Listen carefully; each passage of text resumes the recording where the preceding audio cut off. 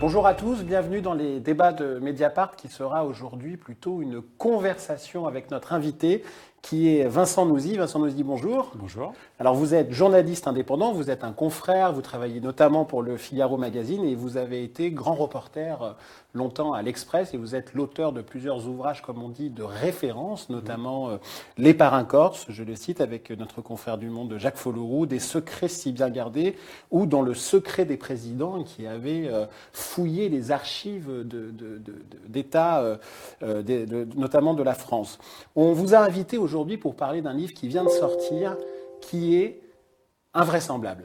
Et pourtant, on sait, euh, nous journalistes qui essayons de documenter la réalité, que l'invraisemblable est parfois vrai. C'est chez Fayard, votre éditeur fétiche. Hein.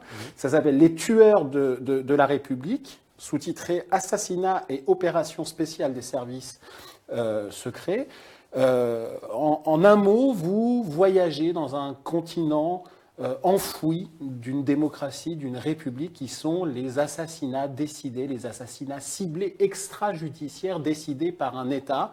Et là, l'État que, que vous fouillez, c'est la France. Alors votre livre, il commence dans sa préface par une, phrase que je vais lire. Deux points, ouvrez les guillemets. La liste est ultra secrète. François Hollande la garde précieusement non loin de lui, dans son bureau du palais de l'Élysée. Alors Vincent nous dit, quelle est cette liste? Eh bien, c'est la liste euh, des personnes euh, dont l'élimination a été décidée euh, en plus haut lieu, c'est-à-dire en fait à l'Élysée par le président de la République. Alors c'est une liste évidemment qui est, qui est secrète, très peu de gens y ont accès. elle a été probablement élaborée par plusieurs services, d'une part les services secrets extérieurs, donc la DGSE, Direction générale, Direction générale de la sécurité extérieure, qui s'occupe donc de tout ce qui est d'opérer à l'étranger. Et puis, euh, évidemment, les, forces militaires, donc euh, la direction du renseignement militaire et les états-majors des armées qui peuvent contribuer à nourrir du renseignement opérationnel, notamment là où les, des soldats sont engagés pour conduire un certain nombre d'opérations euh, ciblées d'assassinats dans le cadre des opérations militaires classiques ou en marge de ces conflits déjà déclarés, par exemple comme l'opération Serval au Mali.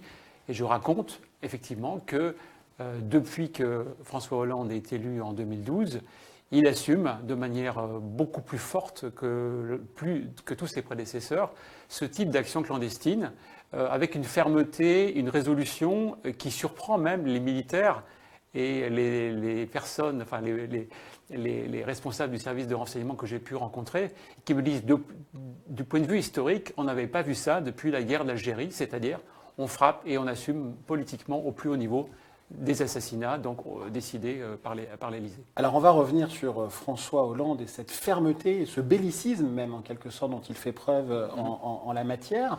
Sur cette liste, est-ce qu'on sait combien il y a de noms à peu près dessus? On ne peut pas savoir combien il y a de noms sur la liste des personnes à tuer. En revanche, ce que je cite, et on peut citer des noms des gens qui ont été tués par par les forces françaises, qu'elles soient les, agents des services de renseignement, le, service action, de, le bras armé de la DGSE, ou par euh, des gens qui euh, travaillent donc dans les, les forces spéciales notamment. Et cette liste est, renouvelée en permanence parce qu'on opère et on exécute un certain nombre de gens qui sont euh, réputés des ennemis de la France, tout simplement. Donc évidemment, la liste est relativement facile à établir, si je puis dire, dans le contexte actuel, puisqu'on mène des combats contre notamment des forces djihadistes et qu'évidemment on essaie de cibler les têtes de ces réseaux. Alors c'est une nouveauté par rapport à ce qui s'est fait jusqu'à présent en France, puisqu'historiquement, euh, euh, personne n'assumait, ne voulait reconnaître, euh, même officieusement, qu'on pouvait flinguer comme ça, de manière extrajudiciaire, à l'extérieur de la France, pour euh, euh, frapper un chef terroriste ou euh, quelqu'un qu'on jugeait nuisible pour les intérêts de la France. En réalité, ça a toujours existé. Je vous raconte dans le détail comment ça existait, comment chaque président a plus ou moins louvoyé sur ces questions-là ou, ou, assumé ces, ce type d'opération. La réalité, depuis trois ans, depuis que François Hollande est élu, c'est vraiment ces opérations sont clairement décidées et il n'y a jamais eu de consigne aussi claire. Aussi claire. Voilà. Parce qu'on a souvent été dans l'implicite. On va, on, va, on va y revenir. Alors, pour que tout le monde comprenne bien, votre livre est un livre aussi historique, puisqu'il balaye cette technique d'État d'assassinat euh, euh, extrajudiciaire, grosso modo, de la guerre d'Algérie jusqu'à aujourd'hui. Aujourd'hui. Pour que tout le monde ait bien en tête ce dont nous, allons euh, parler, je pense que l'expression va revenir, nous parlons des opérations homo pour homicide. Hein.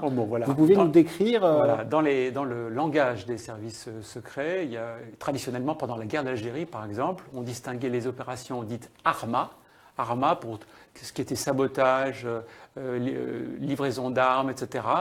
On, sabotait des installations, euh, notamment du FLN en Algérie, etc.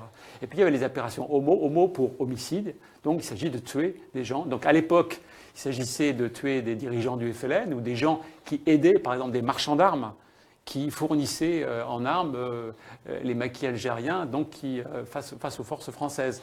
Donc il y a eu à cette époque-là des listes d'établis, des méthodes d'employés et c'est là qu'en gros tout a commencé. Et à cette, époque, de 1955 en gros jusqu'à 1962, la fin de la guerre d'Algérie, le service action de la DGSE, qui était un petit service mais qui employait des gens extrêmement résolus, euh, s'est employé à décimer euh, des cibles qui étaient décidées par le président du Conseil ou le président de la République ou le Premier ministre sous la période de, de, de Gaulle, par exemple. Et là, on sait à peu près qu'il y a eu 200 à 300 exécution, assassinat ciblé, opération en mots décidée donc en plus haut lieu, sans qu'il y ait de traces écrites ni de consignes euh, formelles données, euh, euh, formellement écrites pour dire il faut exécuter Monsieur X. Non, on donnait un ordre oral, l'ordre était transmis à des exécutants, soit des agents du service action, soit des réservistes, de, la, ce qui s'appelait à l'époque le SDEC, soit des réservistes. C'était des gens qui vivaient une vie normale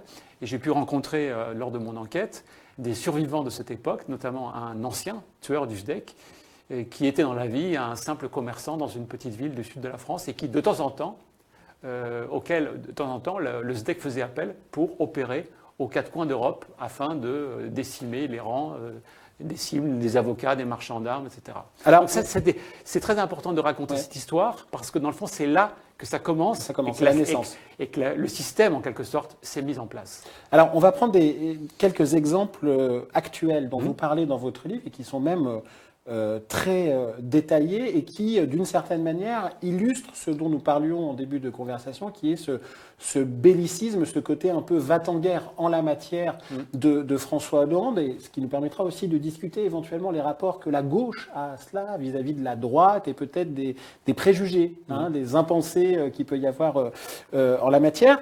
Il y a un exemple qui est ce qu'on a appelé la tuerie d'Usbin en Afghanistan, une sorte de souricière, un piège dans embuscade dans lequel euh, euh, plusieurs euh, militaires français, 10, ont, perdu la vie. Je mhm. parle sous votre contrôle. Mhm. Plusieurs années après, François Hollande, puisque ça date de 2008, mais en 2012, à partir de 2012, François Hollande veut venger cet affront meurtrier qui est fait au drapeau français, à l'armée mhm. française. Que se passe-t-il? Alors en fait, cette histoire, effectivement, c'est la fameuse embuscade d'Uzbin dans une vallée, donc des soldats français hein, qui, opéraient donc en, Afghanistan. Euh, neuf sont tués pendant les combats, un accident de, camion juste après, donc c'est pour ça qu'on dit dix victimes. Euh, en l'occurrence, les, états-majors militaires voulaient rapidement venger, euh, répliquer, parce que dans le fond, il y a un non-dit euh, dans les services secrets, y compris dans les états-majors militaires, c'est que si on nous fait du mal, on, a une capacité de légitime défense, de réplique, de riposte. Jusqu'à ces dernières années, ces ripostes étaient plus ou moins assumées, plus ou moins décidées. On, craignait parfois, et les présidents ont craint parfois, que ces représailles aient plus euh, d'inconvénients que d'avantages au plan, au plan mm. euh, tout simplement de l'efficacité. Et effectivement, ce débat est toujours euh, résurgent. Mais à partir de 2008-2009, il y a eu cette volonté de réplique plus systématique sur des opérations, soit sur des soldats, soit sur des attentats qui avaient pu, ont pu avoir lieu aux quatre coins, aux quatre coins du monde contre des intérêts français. L'ambassade d'Usbin, il y a une volonté très claire dès 2008 sous Sarkozy de frapper le commanditaire. Le commanditaire est identifié comme étant un chef taliban qui s'appelle Azrat. Azrat, voilà. Mhm. Et il est traqué. Il est traqué par les, forces françaises sur place. Il est traqué aussi par les Américains parce que euh, ces hommes, ces hommes de, ce chef taliban ont provoqué un certain nombre d'attentats à Kaboul qui ont été relativement meurtriers. Donc il est un peu sur la kill list, ce qu'on appelle la, liste des gens à tuer, des Américains comme des Français. Et un beau jour de septembre 2012, donc quatre ans après les faits, François Hollande est donc à l'Élysée. Et là, il est, ce chef est localisé dans une vallée. Et c'est une frappe française qui tue donc ce chef taliban. Et j'ai retrouvé le, petit communiqué euh, des forces de l'OTAN, de la force en Afghanistan sur place, qui expliquent bien qu'ils viennent de tuer le commanditaire de euh, l'attentat, enfin de l'embuscade d'Usbin, donc ils sont relativement contents. Ça a été confirmé comme une réplique française, une volonté de mhm. réplique euh, devant la commission de, la défense nationale à l'Assemblée nationale, et personne n'a démenti le fait qu'il s'agissait d'une loi du talion. Alors vous décrivez un François Hollande dont la main ne tremble pas hein, quand il s'agit de, de, demander l'exécution, la neutralisation, comme on dit parfois dans Ça, le politiquement ce, correct, ce langage euphémisé des services et du monde, euh, du monde politique. Il y a un deuxième exemple qui concerne euh, la, Somalie, et notamment une opération euh, qui euh, n'avait pas fonctionné comme elle le devait, qui visait à libérer euh, des agents de la DGSE euh, retenus par ce qu'on appelle les Shebab, des combattants en, Somalie. Et vous, vous, citez cette phrase incroyable de François Hollande qui, parlant du chef des Shebab identifié comme étant impliqué, Ahmed Godan, voilà, Ahmed Godan, qu'il le faut, je cite, le, dégommer. Alors, cette cet exemple est très révélateur puisqu'il met en lumière une sorte de collaboration effective entre la France et les États-Unis en la matière. Est-ce que vous pouvez nous, décrire comment les choses se sont déroulées? Alors, selon, à ma connaissance, bien sûr, je n'ai pas, pas forcément tous les, éléments de l'histoire, mais ce qui est à peu près certain, c'est que euh, à partir du moment où on avait euh, cet agent de la DGSE qui était euh, appelé Denis Alex, qui était en otage pendant trois ans, donc la volonté de le libérer était très forte sous les présidents Sarkozy et puis après sous Hollande. Donc, un raid de la DGSE qui, qui a lieu donc en janvier 2013, qui échoue dans des conditions restées relativement obscures. Je, dévoile qu'il y a eu un certain nombre de dommages collatéraux, d'ailleurs pendant ce, raid. Ce raid se, solde par la mort de l'otage euh, retenu par les Shebab, par la mort de deux membres des commandos des forces spéciales du service action de la DGSE, et puis un certain nombre de, de, et de miliciens qui sont tués ainsi que des civils. Euh, évidemment, François Hollande ne, ne, veut pas rester sur cet échec. Mmh. Il décide de traquer là aussi le commanditaire, comme, comme celui de Ahmed Godan, qui est repéré, qui est, qui est ciblé lui aussi dans la kill list des Américains parce qu'il est responsable d'un attentat au Kenya, parce que, etc. Donc il est vraiment repéré comme étant quelqu'un d'extrêmement jugé nuisible. Et donc euh, la DGSE sur place, par des agents de terrain, par une action de renseignement électronique aussi, finit par repérer euh, le, parcours ou géolocaliser en quelque sorte euh, Ahmed Godan. Et c'est finalement une frappe américaine des drones armés américains plus des avions de chasse américains. Les drones qu'on appelle Predators Des Predators, voilà, mhm. qui, euh, qui viennent de la base américaine qui est basée à Djibouti, où il faut savoir qu'il y a une base française à Djibouti, qui est une base américaine juste à côté, d'où les drones armés peuvent opérer dans toute la région. Euh, Djibouti, Somalie, Yémen, enfin toute cette région-là. Donc c'est à partir de cette base-là que euh, ces drones euh, s'envolent, surveillent, ont les renseignements de localisation et frappent la voiture dans laquelle Godan était, était embarqué avec euh, plusieurs de ses acolytes. Mais alors, cet exemple, est-ce qu'il ne révèle pas d'une certaine manière une incroyable hypocrisie pardon, française vis-à-vis de ce qui est considéré officiellement un peu en France comme une pratique qu'il faudrait prendre avec des pincettes, à savoir les assassinats ciblés avec des drones, qui mm. aujourd'hui sont dans l'imaginaire même culturel. Hein. La mm. dernière série d'Homeland parle de ça, mm. par, exemple. Alors qu'en en fait, on voit qu'il y a une coopération effective. La France euh, désigne, la France identifie la France localise et puis demande aux copains américains, pour résumer, de, frapper. Est-ce qu'on n'est pas là au cœur d'une hypocrisie politique totale? On est dans une hypocrisie française effectivement totale, puisque sur les drones armés, la position française, c'est de dire que ce n'est pas éthique de frapper avec des drones. Or, que fait-on, nous, au Sahel, par exemple, en ce moment? On a des drones de reconnaissance donc, qui surveillent une zone. Et puis, quand une cible est éventuellement repérée, on envoie des avions de chasse pour faire le travail. Donc, il n'y a pas énormément de différence de fond entre un drone qui frappe tout de suite et, un avion de chasse qui vient quelques minutes après. Euh, on a surtout un problème, on avait un problème d'acheter des drones américains, c'était ça le vrai sujet. Et puis il y a encore un petit obstacle dans l'armée de l'air française, parce que le drone armé, c'est celui qui peut éventuellement remplacer des, chasseurs et des aviateurs. Donc ça, il y a un, un obstacle psychologique. Ceci dit, sur le fond, on, rejoint, on se rapproche de la méthode américaine. Alors certes, il faut rappeler que les drones américains, ce programme d'assassinat ciblé, donc télécommandé en quelque sorte depuis des bureaux qui sont planqués au château des totalement l'art de la guerre. Voilà, c'est que ça configure l'art de la guerre officielle, et y compris l'art de la guerre clandestine. Avant, pour tuer quelqu'un, il fallait euh, envoyer, envoyer quelqu'un au plus près et exécuter la personne avec une arme de poing, si je peux dire. Euh, aujourd'hui, avec euh, la surveillance électronique et avec les drones, on peut frapper en gros n'importe qui, n'importe où. C'est ce, que ce que font les États-Unis avec des dommages collatéraux très importants de cibles. Il y a eu 3000 morts depuis 10 ans à cause des drones, à cause des drones américains, avec une image absolument déplorable dans la zone du Pakistan et l'Afghanistan, à cause de ces frappes. Et la France, finalement, n'ayant pas encore de drones armés, a notamment demandé aux Américains euh, de se servir de leurs drones pour frapper notre cible en quelque sorte. Que vous répondent pas vos sources, mais les officiels euh, français quand vous leur dites, écoutez, euh, regardez, j'ai, ils veulent documenté tout ça quand même. Les officiels français que j'ai pu interviewer de manière officieuse, on va dire, m'expliquent qu'on n'est pas encore au stade américain, qu'on fait bien attention. Ah à ne pas cibler, par exemple, des femmes et des enfants lorsqu'il y a des, euh, frappes éventuellement d'avions de, chasse ou euh, de nos drones, de nos forces spéciales ou des agents de la DGSE qui peuvent intervenir. Donc on, serait plus chirurgical, on serait plus ciblé. En l'occurrence, euh, je pense, je pense qu'il y a un risque de dérive.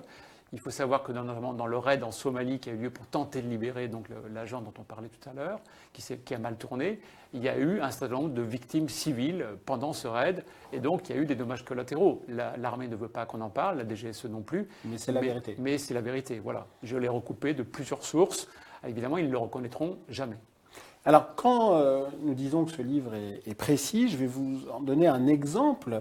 Vous écrivez c'est daté qu'entre début 2013 et mai 2014, plus d'une quinzaine de HVT. Alors les HVT, c'est des High Value Target. Les cibles. Les cibles de, grande valeur, entre, guillemets. Hein, Qu'une quinzaine de HVT ont été éliminés au Mali. Ça, paraît énorme quand on parle de, de cibles et d'assassinats extrajudiciaires, extra tout en quelque sorte. Oui, alors on est, dans, on est dans, un, dans, un, dans, une zone un peu grise, puisqu'on est à la fois dans le cadre d'une opération euh, militaire qui s'appelait Serval, la guerre. la guerre, la guerre officielle. Et à l'intérieur de cette guerre, et, bien souvent, je, peux en dire un mot, mhm. ces opérations clandestines ont démarré bien avant Serval, parce qu'il y avait des forces spéciales françaises au Mali et dans toute la zone sahélienne depuis 2008. Ça faisait cinq ans qu'ils étaient présents de manière quasiment clandestine pour opérer dans la région. Donc il y, a, une guerre avant la guerre et une guerre pendant la guerre. Et, la, guerre qui a été décidée, euh, c'était d'une part évidemment de détruire euh, toutes les bases logistiques euh, des mouvements djihadistes qui tentaient de prendre le contrôle du, sud du Mali, donc Moudjao, Ansardine, Akmi, etc. Mais l'un des, des, principes qui a été édicté par François Hollande, c'est de tuer, tuer les chefs pour décapiter les réseaux. Donc, euh, tuer les chefs, ça veut dire qu'on les cible, qu'on les nomme et qu'on les traque. Et, une fois qu'ils sont traqués, on les opère. Et pourquoi ne pas faire de prisonniers, par exemple? Puisqu'on est dans un cadre de guerre. Alors, il y a, des conventions internationales. Évidemment, il y a une partie du débat qui, qui, est que euh, les djihadistes, de toute façon, ne veulent pas se rendre, que quand on, on est allé au combat dans, dans, dans la drare des Ifogas, donc au fin fond, les légionnaires sont tombés sur des gens qui, qui se faisaient péter avec des ceintures d'explosifs. Donc effectivement, on n'est pas dans, un, dans une, capacité de négociation très grande avec, euh, pour faire des prisonniers et faire ces gens se rendre, ni même acheter la paix, par exemple. Mm. On peut diviser, mais c'est très compliqué. Les chefs les plus importants, soit Bel Mokhtar, Abu Zayed, etc., sont des gens qui, sont relativement déterminés et qui ont déclaré la guerre à la France bien avant le début de l'opération Serval. Donc il y a une forme de, de légitimité d'acte de guerre. Ceci dit, le fait qu'on cible des chefs comme ça, ça n'est jamais arrivé depuis la guerre d'Algérie. C'est ça que je veux dire c'est la nouveauté. Euh, on a commencé de manière en pointillé en Afghanistan euh, avec euh, la DGSE et avec les forces spéciales. après les attentats de septembre. Après les attentats de septembre, mhm. il faut savoir que de manière très discrète, la France a envoyé 200 commandos de forces spéciales à partir de 2003 pour se, dans le fond, pour se réconcilier avec les Américains qui opéraient qui avaient le commandement. Donc, ils ont opéré sous commandement et ils se sont entraînés, dans quelque sorte, pendant plusieurs années à faire ces ciblages de chefs talibans, de chefs d'Al-Qaïda dans la région. Et c'était un grand, une grande zone de, finalement, de manœuvre et d'entraînement. Donc c'est là qu'on a commencé à parler des high value targets, les cibles de haute valeur. Donc comme un jeu de cartes, vous savez, comme au temps de Saddam Hussein, pour chasser, il faut avoir les, les grands chefs pour décimer les rois. Alors il faut savoir que c'est des hydres donc ça se renouvelle en permanence. C'est la question de l'efficacité de ce type de frappe. Mais c'est là, qu'en le fond, que ce, modèle de high value target, assez militarisé, où on emploie un peu plus les forces spéciales que la DGSE, parce que la DGSE, c'est des civils à la base. Donc, enfin, ce sont des civils. Ils interviennent en civil. Ils doivent être clandestins. Donc c'est plus difficile d'intervenir en Afghanistan pour aller flinguer quelqu'un. En revanche, avec des hélicoptères, avec des forces spéciales, on peut frapper un peu plus. Il y a plus de capacité d'action. Je raconte notamment le fait que la DGSE dispose depuis plusieurs années d'une petite cellule de ah tueurs attitrés. le groupe Alpha. Le groupe Alpha dont je raconte l'histoire.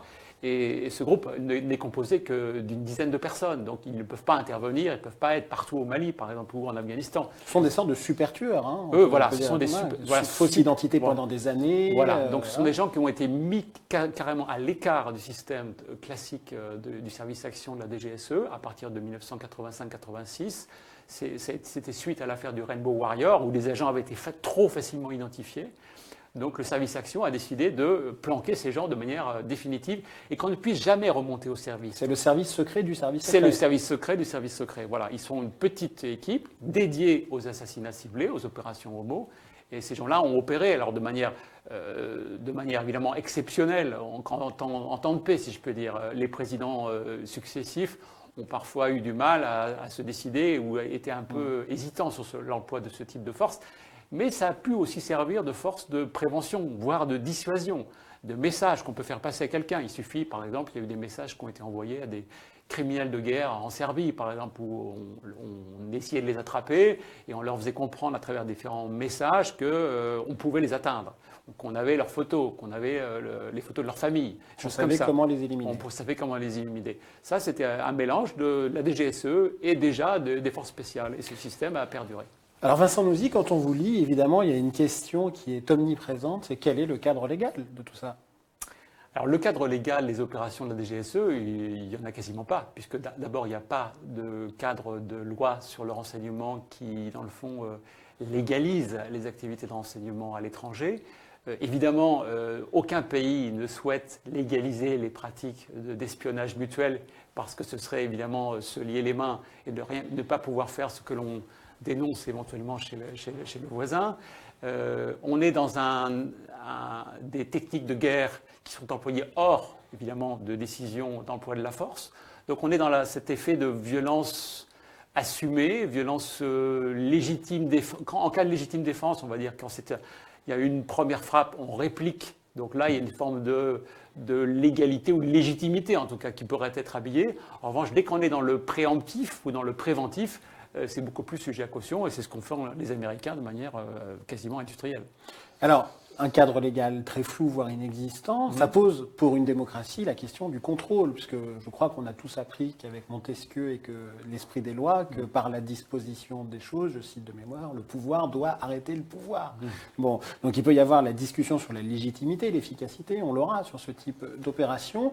On a le sentiment d'un contrôle, notamment parlementaire, si on parle de la représentation de la nation, totalement, euh, même pas défaillant, inexistant en la matière la, délégation parlementaire au renseignement qui existe, qui est récente, hein, qui a des pouvoirs relativement limités, n'a pas pour vocation de contrôler les opérations euh, de la DGSE. Donc, il peut discuter le budget, euh, les, les, grandes orientations, les moyens dont ils se disposent, les moyens humains ou financiers ou logistiques, mais ils n'ont aucune vocation à rentrer dans le détail, comme le, peut le faire le Congrès américain. Euh, euh, encore récemment, lors d'un rapport d'enquête extrêmement fouillé sur toutes les méthodes employées par la CIA depuis euh, le 11 septembre 2001, il n'y a pas cette capacité en France d'aller au fin fond des opérations pour voir ce que l'on a fait de manière claire, de manière assumée, et, et qu'est-ce qui a pu déraper dans un certain nombre d'opérations.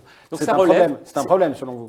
Bah, C'est surtout un Cette absence de contrôle. C'est un problème, oui, tout à fait, parce que rien n'empêche, euh, rien n'empêcherait dans d'autres pays, euh, aux États-Unis, en Angleterre, dans d'autres pays, un contrôle un peu plus strict, dans des conditions évidemment de confidentialité à respecter, euh, des opérations menées à l'étranger sur un certain nombre de... quand on, on, définit des objectifs à des services de renseignement qui peuvent être de neutraliser, dans ce qu'ils appellent entraver quelque chose, eh bien, on pourrait très bien, euh, on pourrait très bien imaginer que euh, les députés ou les parlementaires aient une capacité d'investigation sur un certain nombre d'opérations euh, et les budgets, les moyens employés, les méthodes employées. En l'occurrence, ça n'est pas le cas. L'absence de contrôle permet le caractère totalement discrétionnaire en réalité de, et de la décision et de l'exécution. Hein. Tout à fait. Donc la, question, c'est plus le contrôle politique de ces opérations, parce qu'au sein des services, euh, ils sont plutôt euh, obéissants, si je peux dire. Ils font ce qu'on leur demande de faire. Verticalité. Ah, c'est assez vertical, c'est plutôt des militaires dans le service action.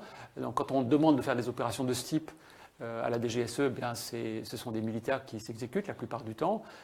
donc ils, attendent toujours l'ordre l'ordre oral ou l'ordre écrit, mais en tout cas un ordre venant directement des, du pouvoir politique.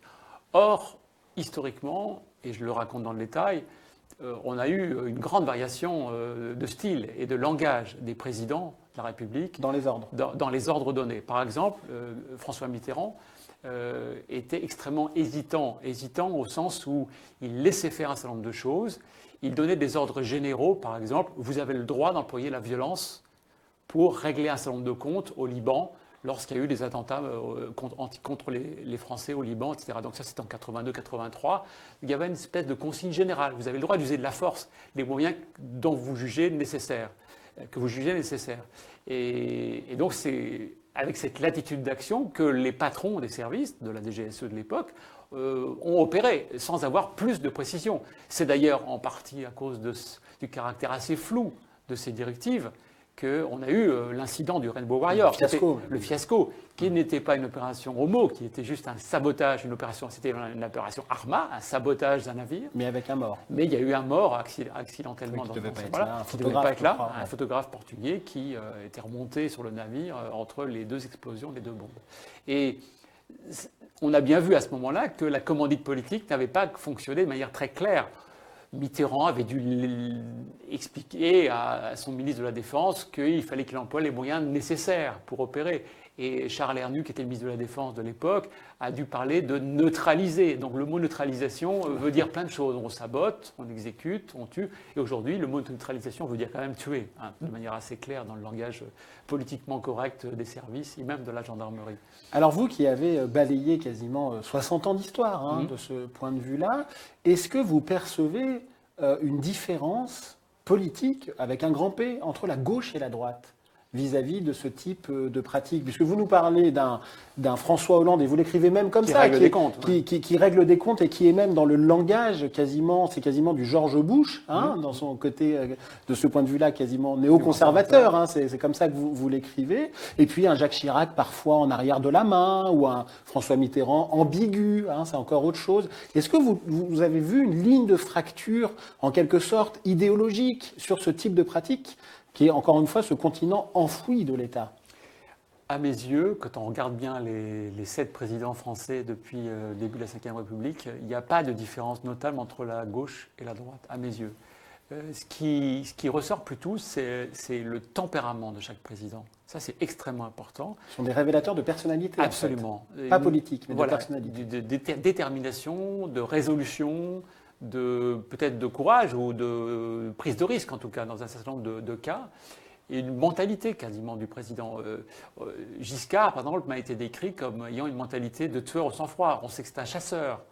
Et on sait que sur des petits mots manuscrits, il pouvait, avec certains dictateurs. Voilà, il écrivait euh, il, faut, il, faut, il faut faire du mal cruellement à nos adversaires. Donc il y avait ah cette volonté de, de, de frapper, et, de frapper de manière avec, euh, euh, avec violence et avec une volonté de, se venger. Parfois, il a, donné des feux rouges aussi. Il, y a eu plusieurs opérations pour tenter de neutraliser, comme on dit, euh, Carlos, qui était en fuite après des assassinats commis en France. Et il y a eu des feux verts, puis des feux rouges, puis des feux verts, puis des feux rouges. Mais Mitterrand, par exemple, a donné un feu vert pour assassiner euh, Carlos et euh, Abu Nidal, qui étaient les deux grands terroristes euh, des années 80. Carlos a été kidnappé finalement. Carlos a finalement été kidnappé, mais je raconte qu'il a été kidnappé après que la question de, de, sa capture ou de son exécution a été clairement posée au cabinet de Charles Pasqua en 1994. Ayant été repéré au Soudan, des équipes auraient pu le neutraliser. il y avait des proches de Charles Pasqua qui étaient favorables à une exécution. Et il y a euh, d'autres proches qui étaient plutôt favorables à sa capture, de manière à ce qu'il soit jugé finalement en France. Et c'est donc cette deuxième option qu'a choisi Charles Pasqua en missionnant le général Philippe Rondeau pour faire cette capture au Soudan et le ramener euh, dans les, dans les, dans les mailles de la DST. Et le, qui est l'un des grands succès du général Philippe Rondeau qu'on retrouvera ensuite dans, d'autres toute autre affaire qui est l'affaire notamment euh, Clearstream. Euh, Clearstream. Question rapide, est-ce qu'il est possible que ce type d'opération se fasse sans le consentement, voire même dans le dos du chef de l'État ou du pouvoir politique Alors dans le dos, je ne dirais pas ça, mais il m'a été cité, non pas des opérations précises, mais une philosophie euh, particulière, notamment de François Mitterrand, qui fait qu'à certains moments, il l'a laissé faire sans même qu'on lui en parle, en fait. Il y avait une espèce de discussion entre euh, le patron de la DGSE et le président de la République, parce que ça se passe vraiment tête à tête, ce type de discussion sur des opérations aussi sensibles. Très peu de gens le voilà. savent. Très peu de gens le savent, c'est vraiment une, une, intimité totale, le secret absolu. Eh bien, François Mitterrand ne donnait pas de feu vert ni de feu rouge. Il disait simplement au, directeur de la DGSE faites comme il vous, il vous plaira en quelque sorte, si vous le jugez utile. Donc c'était une espèce de feu vert, feu rouge, c'était au directeur de la DGSE d'interpréter ce feu vert ou ce, ou ce, silence de François Mitterrand afin de prendre des décisions. Et je sais que des opérations ont été menées sans que François Mitterrand donne son aval formel. Est-ce que ce n'est pas une forme de perversité politique pour se protéger en, en, Évidemment, réalité si ça c'est une hypocrisie politique, c'est le mm. fait de ne pas assumer ce type d'opération, c'est le fait de craindre des effets boomerang politiques si jamais ce type d'opération venait à, être connu. Et, c'est surtout une manière de se défausser en quelque sorte aussi sur les services secrets afin qu'ils les opèrent. Il faut bien savoir qu'il y a d'autres directeurs de la DGSE qui, face par exemple à Jacques Chirac, euh, ne sentait pas le, coup. Et il y avait un silence de la Chirac qui ne voulait même pas en entendre parler, et donc ils n'ont pas, opéré. Donc il y a eu une extrême, grande prudence de Jacques Chirac sur ce, sujet. C'est probablement le, de tous les présidents celui qui a été le plus euh, tempéré, si je puis dire, pour, qui était le plus, certains disent craintif, d'autres disent expérimenté, prudent. Et il y avait une forme de méfiance à l'égard des services secrets euh, qui n'a fait que se renforcer d'ailleurs au fil des ans, et particulièrement avec l'histoire du voilà, vrai faux compte japonais. Voilà, il, hein. soupçonnait un complot, euh, complot des ourdi au sein de la DGSE contre lui, et donc ça, ça s'est assez mal passé dans le fond dans ses relations avec, euh, avec les services secrets. Il y a un président dont on a peu parlé, pourtant vous lui consacrez un chapitre, notamment sur un sujet qu'on essaye de documenter beaucoup à Mediapart, qui est la Libye, et c'est, je parle de Nicolas Sarkozy.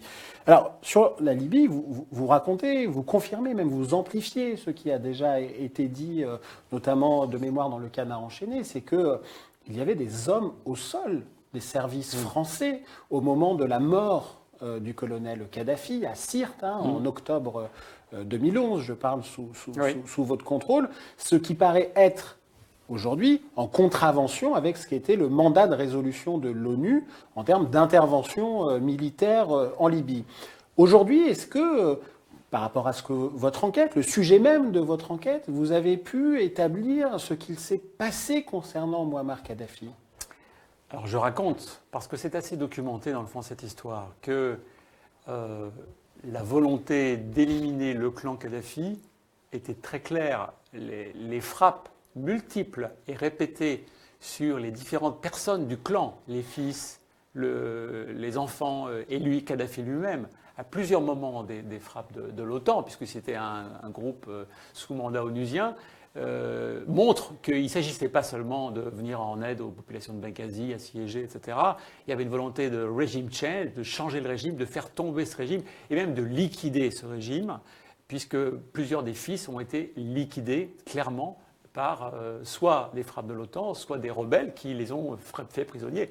Et dans le cas d'espèce de Muammar Kadhafi, euh, je raconte dans le détail, la frappe, qui est une frappe française, d'une grosse bombe guidée au laser.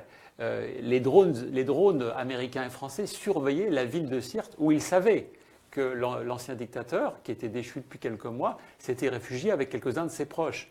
Et que, que, voit-il un, beau matin, à 8 h du matin, un énorme convoi de 75 véhicules qui part vers le sud de Sirte et, qui, et qui foncent à toute allure Évidemment qu'il n'y avait personne qui pouvait s'échapper de Sirte autre que Muammar Kadhafi. Et il avait en plus un téléphone Touraya, c'était la seule chose dont il disposait dans, la, dans, un téléphone satellitaire. Un hein. téléphone satellitaire. Mmh. Mmh. Il est très probable, c'est ce qu'on m'a dit, que le téléphone était écouté et localisé. Donc en fait, on savait qu'il était là et euh, très rapidement. La France bombarde.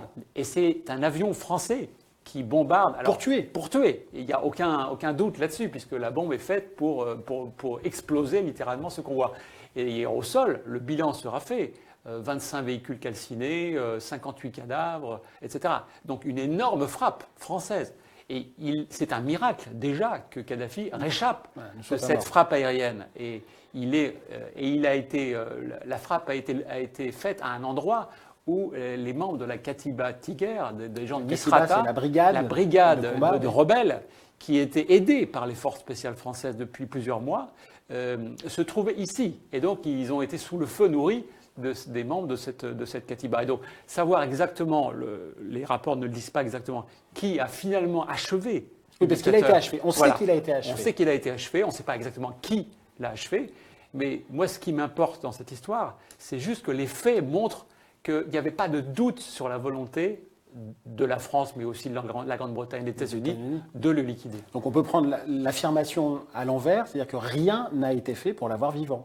Et donc le juger. C'est très clair. Puisque la CPI voulait le juger avec. Quand on envoie une bombe de 250 kilos sur le, convoi où, l'on suppose que Kadhafi est en train de s'enfuir de Sirte, c'est très clair qu'on n'est pas prêt à discuter avec lui. Et ça nous renvoie aux éventuels secrets dont moi, Marc Kadhafi était le détenteur, que ce soit la corruption ou même la coopération avec. Donc moi, je ne m'avance pas sur ce, point-là, sur les motivations de Sarkozy versus euh, Cameron versus sur la détermination à tuer. La, la frappe militaire montre qu'il n'y a aucun doute sur la volonté de tuer. Alors, il y a euh, une opération Homo qui est américaine très célèbre, qui a donné même lieu à beaucoup de, livres et même à un film d'Hollywood, c'est l'assassinat de Oussama Ben Laden. Et quand euh, cet assassinat a eu lieu, il y a eu immédiatement un communiqué de l'Élysée qui disait justice est faite. Hmm. Est-ce que ce n'est pas tout l'inverse? Non, parce que du point de vue de l'action contre euh, Oussama Ben Laden, qui avait clairement revendiqué les attentats du 11 septembre, euh, il y avait une forme de légitimité des États-Unis à traquer le suspect numéro un, le commanditaire de ces, attentats qui les ont marqués vraiment. Est-ce que la justice, ça n'est pas de juger les gens? Alors, il faut se souvenir que Bush, dans ses premiers mots, dit on va les, poursuivre pour les, ramener et qu'ils soient jugés. En l'occurrence, les consignes secrètes qu'il a données, c'était vraiment d'éliminer. Je cite notamment des rapports où il disait Je veux la tête de Ben Laden dans, un, paquet, quasiment. Donc, la volonté claire, il y avait presque une légitimité quasiment onusienne, puisqu'il y a une résolution de l'ONU qui est votée le, 12 septembre, je crois, ou le 13 septembre à, l'ONU, à l'instigation de la France, qui donne le droit à une action unilatérale américaine contre, dans le fond, les commanditaires du attentat du 11 septembre. Même si ça intervient dix ans après, la vengeance, qui est un plat qui se mange souvent froid, euh, il y a une forme de, légalité, de légitimité dans, cette, dans, cette, action. Mais si je pose un peu en fait cette question de manière euh, peut-être un peu provocante pour, pour, certains sur justice a-t-elle été faite euh, sur la mort de, de, Ben Laden, au fond c'est la question centrale, je trouve, que, mm. pose le livre, c'est à quoi ça sert? Mm. Est-ce que c'est utile? Puisque si on, on peut imaginer qu'on allez, on accepte, le débat est totalement ouvert, mhm. qu'un État puisse, en dehors de tout circuit judiciaire, tuer certaines personnes euh, qui sont dans le, camp d'en face. Bush parlait même du, camp du mal. Mhm. Est-ce que c'est efficace pour lutter contre la menace qu'ils incarnent? Est-ce que c'est utile Est-ce que c'est la meilleure arme, en quelque sorte, pour répondre à, ce danger, à cette terreur dont euh, la France a été euh, victime euh, récemment, ou est-ce que ça n'est pas rajouter de l'essence sur du feu? La question est en partie psychologique pour les pays comme les démocraties occidentales qui, face à une menace terroriste, on veulent quand même montrer à leur opinion, à leur population, qu'ils ne restent pas les bras ballants lorsqu'on les attaque. Et ça peut être aussi un effet éventuellement en partie dissuasif sur certains, euh, certains ennemis qui douteraient d'une capacité de réaction. Donc le fait qu'on frappe en retour qu'il y ait une riposte, qu'il y ait une représaille, qu'il y ait une loi du talion. C'est un principe un peu général des services euh, secrets. Donc le Mossad, les services israéliens l'ont beaucoup pratiqué. La CIA, depuis 2001, le fait de manière quasiment euh, très, très systématique. systématique. L'entreprise. Voilà. Et, la, et, la, France était dans un entre-deux. On avait plutôt une réputation de, de, puissance mollassonne, mmh. dont les services secrets n'étaient pas très efficaces et qui n'avaient pas cette culture de la riposte immédiate. Alors, c'est en train de changer. Ça a changé donc avant les attentats de Paris, mais ça a changé depuis en gros 2010. Euh, euh, à partir du moment où il y a eu un certain nombre de prises d'otages, notamment au Sahel, euh, on, a, on, avait commencé à beaucoup négocier, même à payer des rançons. Et puis progressivement, la, notion d'opération de, vive force qui a été notamment inaugurée par Nicolas Sarkozy dans, auprès de pirates somaliens, mais aussi après la prise d'otages de deux jeunes Français au Niger en janvier 2011 tout de suite. Où ça s'est mal fini. Où ça s'est mal fini pour les mm. deux otages, mais aussi pour des, membres d'ACMI qui, avaient, euh, qui avaient opéré ces, ces rapts à, Niamey. Euh, cette volonté, donc, est, très manifeste. Et elle, elle, a été probablement en partie incarnée, d'ailleurs, par euh, le chef d'état-major particulier de Nicolas Sarkozy, donc vraiment Benoît le, Puga, Benoît Puga, le général Puga, voilà, qui à partir de 2010 est, est, aux côtés du président Sarkozy est un parachutiste, plutôt un homme de, commando, qui a dirigé les forces spéciales et qui est plutôt partisan de la manière forte. Et il inspire en partie euh, Nicolas Sarkozy à partir de 2010 sur ce type d'opération secrète. Et il reste à l'Élysée sous François Hollande, où il est toujours en place comme chef d'état-major particulier. Et il fait partie clairement des faucons qui inspirent euh, euh, François Hollande aujourd'hui. Vincent Nosy, merci beaucoup de cet entretien. Donc, vous êtes l'auteur des Tueurs de la République aux éditions Fayard. Merci à tous.